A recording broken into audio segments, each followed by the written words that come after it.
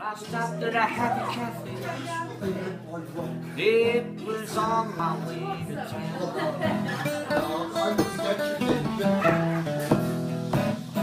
Yes, I stopped at a happy cafe. It was on my way to town. I just get so much enjoyment out of it. I walk away from here and I'm, I'm happy I've done a little bit but or a lot of it, you know. So it's just giving back something to the community, really.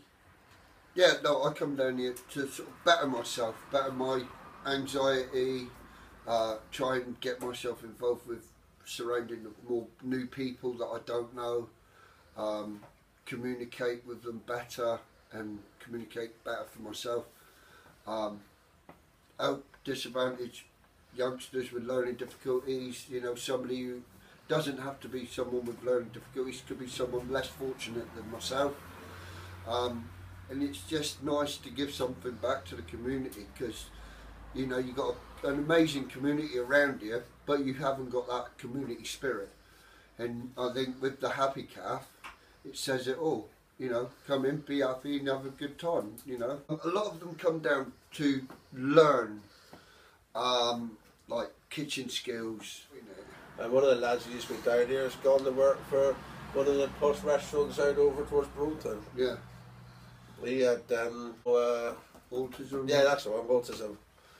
It gives, like I say, people less fortunate than us a chance to learn a skill and in time get something out of it. And get, you know, and people judge you for having these issues, but you don't ask to have them. It just happens. You know. Before I come here, it was causing major issues in my relationship.